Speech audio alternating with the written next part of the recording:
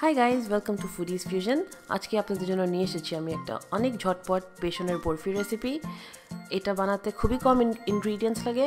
চলেন শুরু করি। প্রথমে দিব আমি তিন টেবিল স্পুন ঘি। একটু ভালো করে নাড়ায় চাড়ায় হিট করে নিব। আপনারা চাইলে বাটার ইউজ করতে পারেন বাট ঘিটা বেশি সুন্দর ফ্লেভার দেয়। ঘিটা ভালো করে যখন গলে যাবে, একটু গরম হয়ে যাবে, তখন আমরা এক কাপের সমান বেসন ঢেলে দিব। বেসনটা ঢালার সাথে সাথে আমরা এটাকে নাড়ানো শুরু করব। নাড়ানো কিন্তু থামানো যাবে না।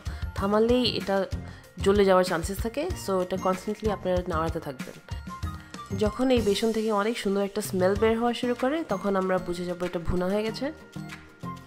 তারপর আমরা দিয়ে দিব half can of condense milk এটা দিয়েও নাড়াবো ভালো করে। ভালো করে মিশিয়ে নিতে হবে। আর মেশানোর পরে আমি দিয়ে দিচ্ছি এখানে two tablespoon powder sugar আপনারা চাইলে এই হালুয়াতে একটু এলাচি পাউডার অ্যাড করতে পারেন। এটা পুরোপুরি আপনাদের টেস্টের উপরে নির্ভর করে। আমি এখন এখানে কিছু বাদাম অ্যাড করে দিলাম। আমি নিয়েছি কাঠবাদাম ক্যাশোনাটস আপনারা নাড়াতে নাড়াতে দেখবেন ঘিগুলি বের হয়ে আসছে। তখন আপনারা বুঝবেন যে হালুয়াটা হয়ে গেছে। আমার মোটমাট পনেরো থেকে বিশ মিনিট লেগেছে এটা করতে। এখন আমি ঢেলে দিলাম একটা বলে আর আমি এটাকে একটু মোটা করে লেয়ার করব, কারণ আমি কাটার পরে চাই একটু ফাজের মতন শেপ আনতে। আপনারা আপনাদের মন মতন করে সাজাতে পারেন।